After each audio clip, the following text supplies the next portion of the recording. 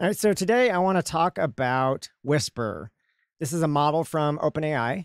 You can install it with a pip install and then OpenAI Whisper.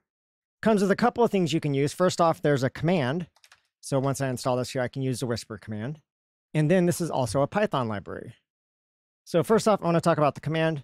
Basically, this is a tool that allows you to take audio and transcribe it into text. So we're talking about speech to text. It is absolutely stellar in terms of accuracy, and it's incredibly useful, especially with a feature called word timestamps, to be able to tie metadata about what you're saying to any part of a video. All right, so first up, I've got a little 30 second clip in here that I can use, and I can pass an argument here for transcribe. The other option is it actually can do translations as well. I'm just going to use the transcription today, though. So when I run this now, take a little bit of time, and the first time you run it, it has to download a model to be able to recognize the speech and then translate it to text. So be prepared for that to take a few seconds. And then once it's done that, it actually performs a transcription. And you can see the output here of the text that it's recognized.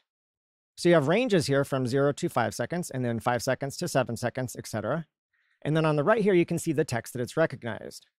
And it does a really good job. For example, Copilot is something that I'd expect general purpose transcription to possibly mess up because it's kind of a modern term. And yet in this case, it's picking it up just fine. And I find that to be the case with a lot of technical terms. Whisper actually does a pretty good job of recognizing the term and not having a problem with it, unlike other models I've used in the past. And then in addition to the output here, if I list out the files, you can see there's five different files that are exported, and that's by default. You can control which ones are actually exported. The first one is a JSON file. If I dump out the contents of this, Actually, I'll pass that to JQ. As I scroll through here, each chunk of text is recognized, and then you have the starting and the ending point. Also have tokens if you're interested in that.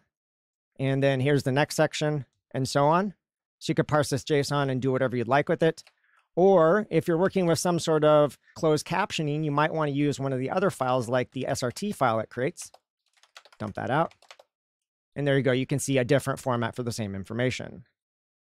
And so there are five of those files. Got a text file, tab separated value, a VTT, which I have no idea what that is, the SRT, and then the JSON format. So that command is one way to use this. The other way, if I hop over to VS Code, I've got a Python notebook here set up with a simple example of transcribing. I'm going to pass a different video in this case. So that will get passed to my transcribe function. I'll load the base model. You can specify other models if you like, like the small, medium, and large. Base tends to be perfectly fine in my experience. And then just call transcribe here. That's it. It'll do the rest for you. Pass the file. In this case, I'm asking for word timestamps. So that's more granular than just recognizing a line of text. So if I run this, again, that's a 30 second clip. Doesn't take too long to process though. This will take about five to eight seconds. All right, that's done now. I then process it here and just display the information. So you can see what it recognized here. That looks like what we had before. If, however, I come down below here, I use pprint to dump out the entire text response that came out of transcribe. So that's from up above here. Now when I run this, dump out the whole response. And if I choose to make this a scrollable element, I can see all the output. And as I scroll through here, come up to the top actually, we have our first line of transcribed text. And then down below that, you now have words. And for each word inside of that line, you can see here's the word, which is so. That's the first word you can see its start and its ending point, and you've got probabilities. And of course, the next word is one then. Here's where it starts, here's where it ends, etc.